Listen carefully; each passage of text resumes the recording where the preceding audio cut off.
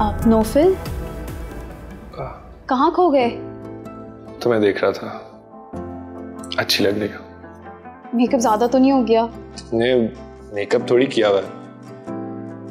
हल्का सा टचअप है। इसको मेकअप थोड़ी कहते हैं।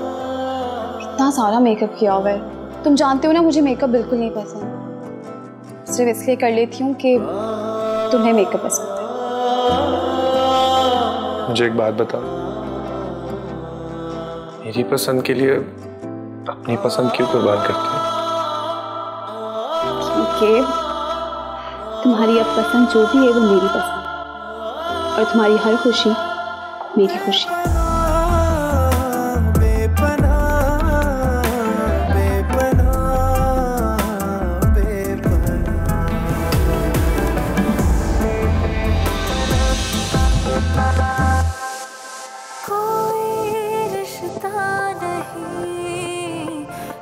सका साहिबा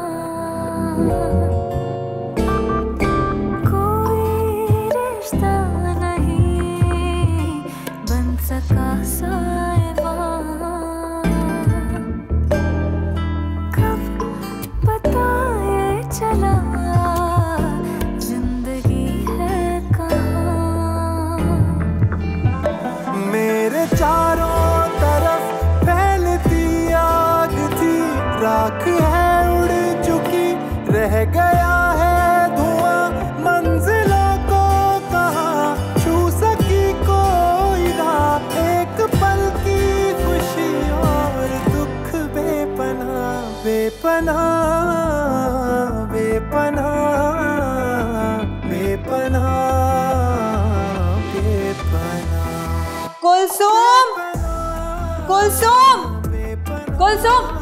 जी बाजी जो तुम खाना लेकर आई हो तुमने गरम भी किया था?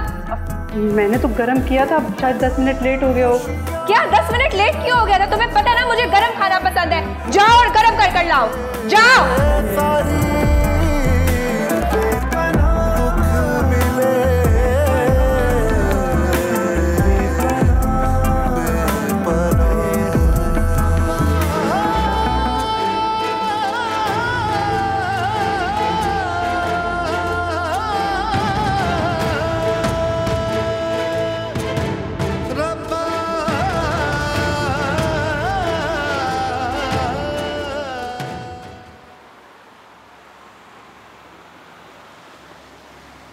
मेरा शक बिल्कुल सही निकला।